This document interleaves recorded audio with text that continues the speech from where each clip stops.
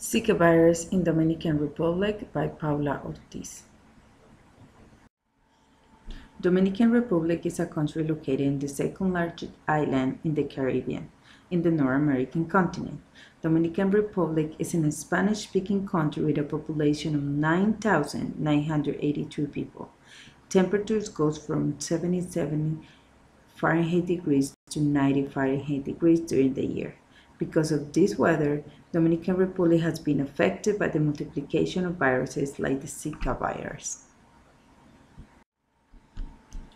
Zika virus was first found in Uganda in 1947 and spread to the Americas after 2014. Countries located in the South America, Central America, and the Caribbean are the more affected.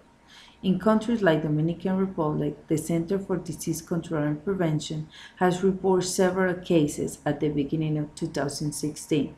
As the rain season intensified, the Zika virus spread even more.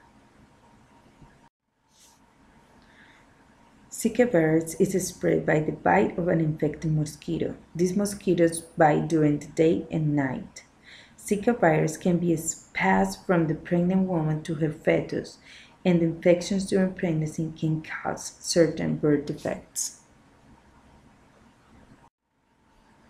People infected with the Zika virus experience different symptoms such as skin rash, red eyes, fever, muscles, and joint pain.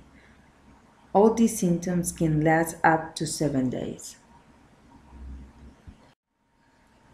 There is no vaccine or specific medication to treat the Zika virus. Doctors recommend to drink a lot of fluids, treat muscle and joint pain with pain relief medication, and take a lot of rest.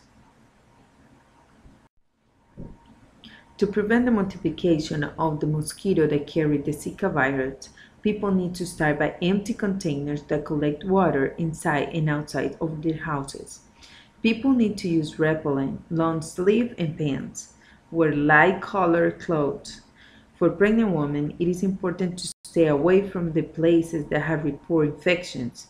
If a woman is pregnant and she has the Zika virus symptoms, she needs to consult a healthcare provider for diagnosis and close monitoring of the baby.